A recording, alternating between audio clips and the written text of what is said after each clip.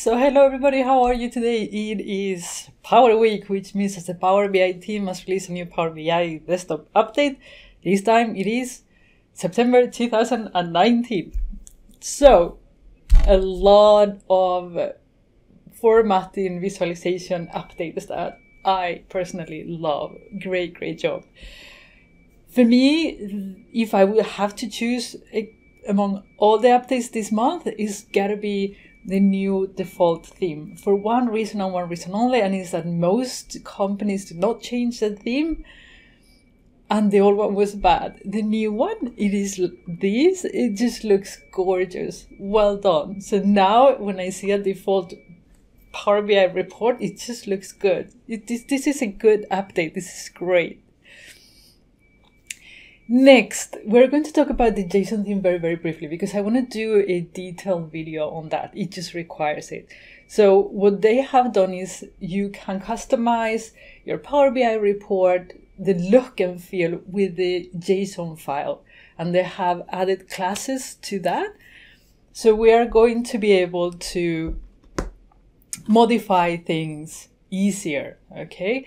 Now, you need to know this because it drove me nuts when I was trying it. Nothing worked because it is a beta feature. So you have to go to File Options and then Preview Features, this new web table in inference. You have to click that, otherwise it won't work. I was changing things on the JSON file and nothing changed. Now you know what. Click on that and then you will be able to play with the new settings. I'll have a video on that very, very soon. I just have to understand. I understand the basics, but I have to understand what everything does so I can explain it to you, basically. Okay. With that said, next, what else do they have? They have the new default themes. They have added additional themes, not just change the default one, which is good. They are in here and even more in there. I think the default theme looks gorgeous if you don't want to create your own. Personalized visualization, pane improvements. Now, um, you've been able to, since last month, I think, to pin in custom visuals that you always use. Now you can unpin visuals that you never use or that you have created for a version, basically. So, for example, do you see this gauge thing? I dislike gauges as much as I dislike a pie chart. So we're going to actually unpin that. So when you unpin it, it actually goes in there, okay? And you might say, oh, it doesn't disappear. It does. So once you close this and open it up again, that thing is gone, gone forever. So take your gauges and blow them out of your Power BI report. Make yourself a favor. Okay, with that said, there is another thing, and is this about thing, which I think is very, very good because it allows you to know uh, who you have to contact. And if you have a custom visual, it will tell you which version of the custom visual is. You know, we're getting into better management of custom visuals. It's not optimal yet, but they are still working on this, and this is a step on the right direction for sure. Now, if you want to restore these things, I have to say it, you just go in here and then restore default visuals. It unfortunately will restore everything. So you cannot choose like I want my gauges back. It will if you have deleted multiple ones, it will restore everything and then you'll have to unpin. But that's not the world actually. So fine. Fine, fine, fine. Okay. If we go analytics, um, I don't know where they put this in analytics. For me, this is reporting, but picky as always. Now, here's the thing. I was doing like this. I was going into, for example, that one. No, let's put, I don't know, sales.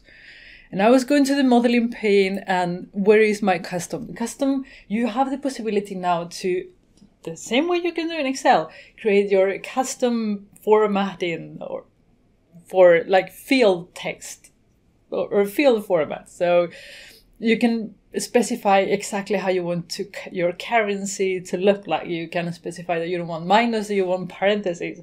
Hey, financial people of the world, are you excited? Because this is for you and for me that I'm working with you.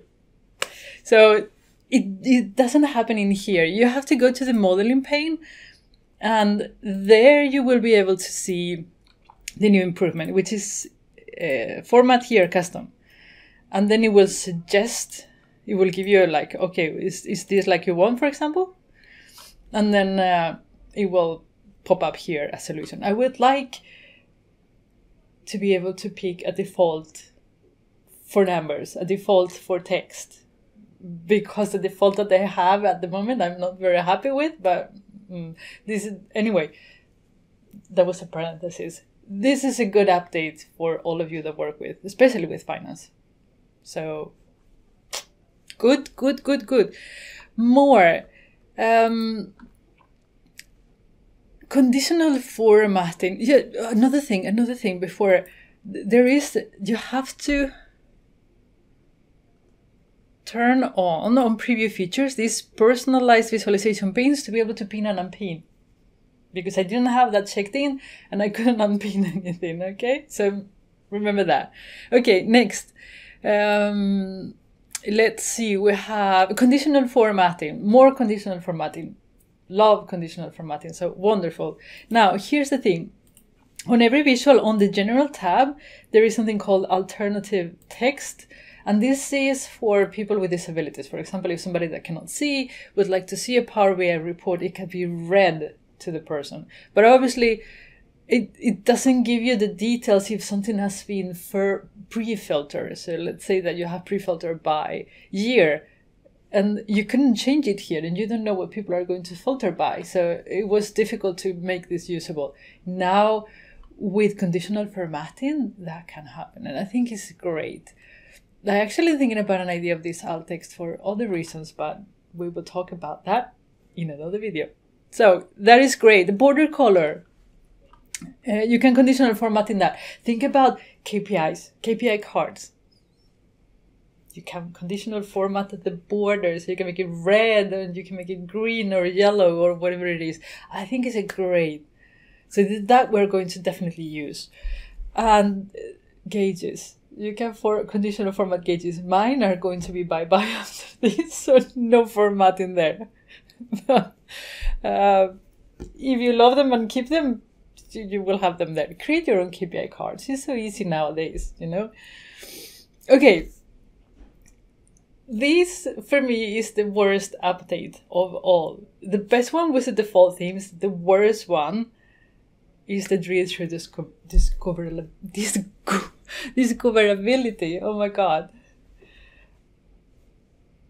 Okay, so complain, and I still have that complaint. How do you know? You look at this report. How do you know where you can fill, drill down? You don't. You don't. You have to hover and then you see the arrows. You see? Hover arrows. So with the Power BI team has done now, if you hover over and you get the tooltip, you will see that it says right click to drill through. Not good enough. For me, that's not good enough. I, I want to be able to see before, for example, on the matrix. This is for something that I was not like super happy. I love now. I completely in love with it, and I put it on every single report and use row and then you put the plus minus icon. Why? Because I can see that you can drill down. That is an improvement. To have to hover over to see there is drill through and here this, no. For me, no. But hey, that's probably working for somebody else. I'm sure about that. So that, but that, that is a, no good.